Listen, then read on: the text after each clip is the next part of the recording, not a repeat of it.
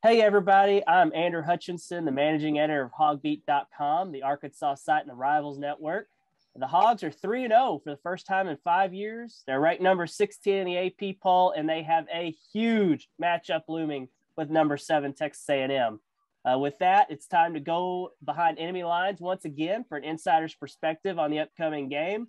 Uh, Mark Passwaters covers the Aggies for AggieYell.com, another one of our sister sites at Rivals.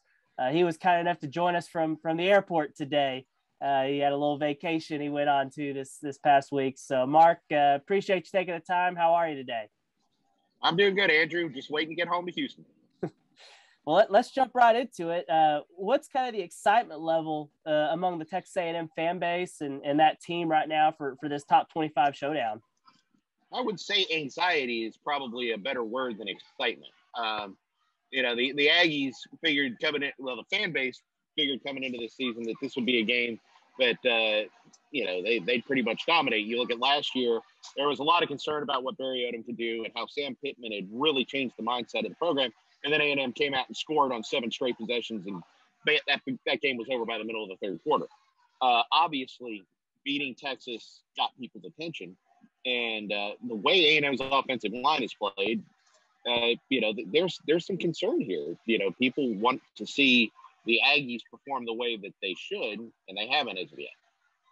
I'm going to get into that offensive line here in just a second, but I know everyone. The first thing everyone wants to talk about is quarterback play. You know, A&M got the bad news with Haynes King going down and going to miss several weeks. Uh, Arkansas will get Zach Calzada instead. Uh, how different is the offense with Calzada compared to King? Uh, it's a little bit different because Calzada is has the, the bigger arm of the two, but he's significantly less mobile. I mean, he can run. We saw that in the, in the Colorado game. He made some big plays with his feet, but King is elite in terms of being able to run the football, especially a quarterback.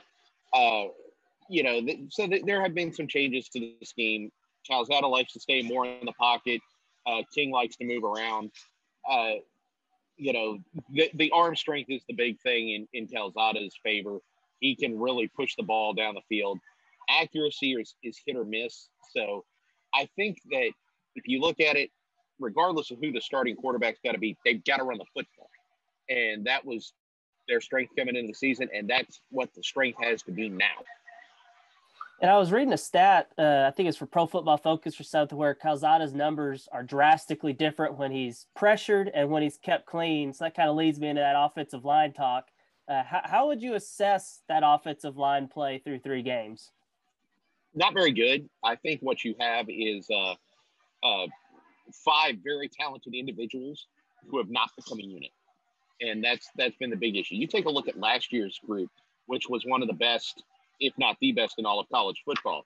You had five guys that were very experienced. The only one who wasn't overly experienced was Kenyon Green. He's an All American. Uh, but Dan Moore, Jared Hocker, Ryan McCollum, Carson Green, all those guys had played three years or more, eh, you know, as a starter. And it paid off because they knew each other's moves in their sleep and they, they became they went from a very average to subpar line in 2019 to one of the best in the country last year because of that match. Now you take a look at this year. Jahmir Johnson from Tennessee is the left tackle, and he's been fine. He's a senior. Uh, Kenyon Green, the All American right tackle now, so it's a new position for him, at least in college. And then on the inside, you have Aki Ogunbiyi, who is the best guard in the country in the 2020 class, Bryce Foster, a five star, and Layden Robinson, who was a, a four star three years ago, but is an absolute monster. You know, so individually, this is a better group. As a unit, not so much, and that's proven uh, to be the case so far. And I think that Jimbo has taken it, you know, taken emphasis this week on, okay, you guys got to go out there, toughen up, figure out what you're doing with one another, uh, because right now what you're doing ain't hacking it. Yeah, I guess uh, Layden Robinson uh, has been a little bit banged up. I think they're expected to get him back. We were texting a little bit yesterday, uh, and you were telling me a little bit of a an injury update.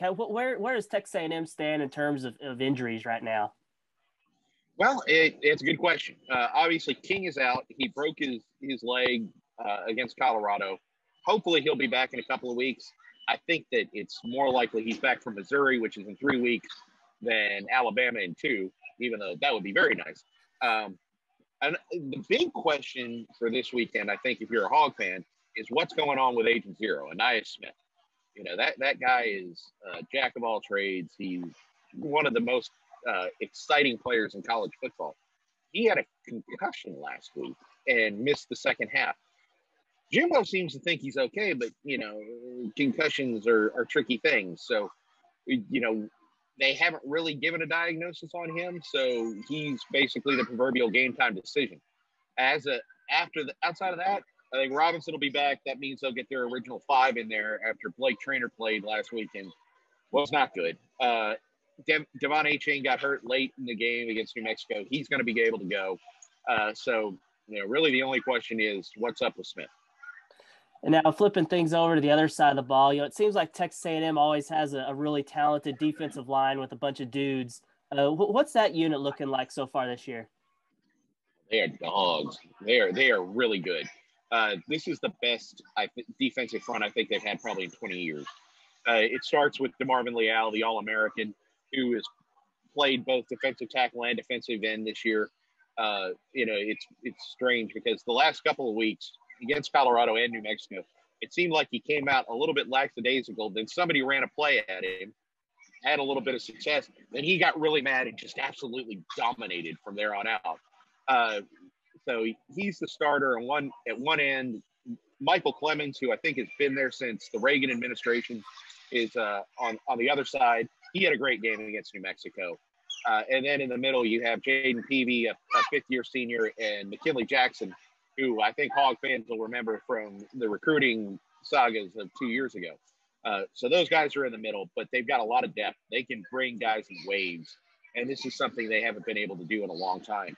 I think that honestly, it's probably the best defensive front in the SEC and maybe the country. So that kind of leads me to my next question. You know, putting the headset on, if you're an offensive coordinator, how would you scheme up to try to beat this Aggies defense? And, and who are the other guys maybe outside of that front front group uh, that you have to account for? There's a lot of motion and misdirection, honestly, because that seems to have been what has helped opponents so far. Really, it, hadn't been necessarily misdirection, but running for your life. Uh, Kent State's quarterback uh, had some pretty good yards rushing on the ground, but it was because he had been flushed and had to move. Uh, Brendon Lewis for uh, Colorado had a couple of really nice uh, quarterback runs.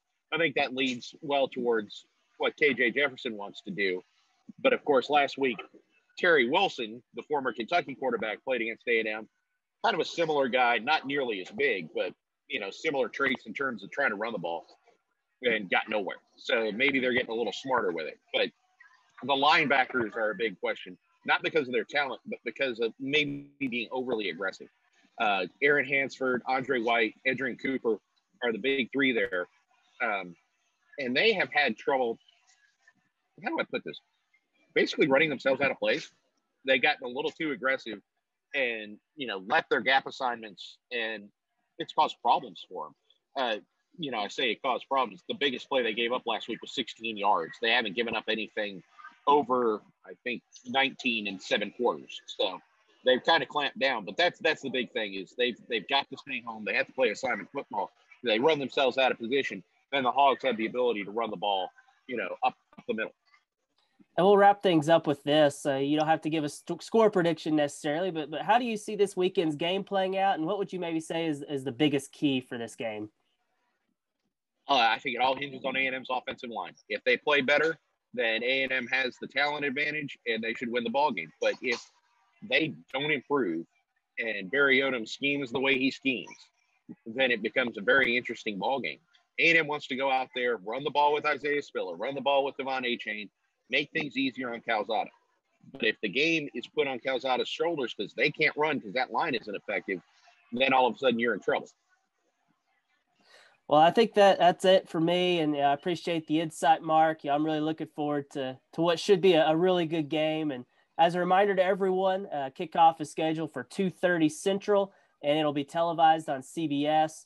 Also, if you're watching this on YouTube, don't forget to hit the subscribe button so you can see all of these uh, know the foes segments, as well as press conferences, practice clips, recruit highlights, things like that. And as always, head over to hawgbeat.com for your one stop shop for all things hogs.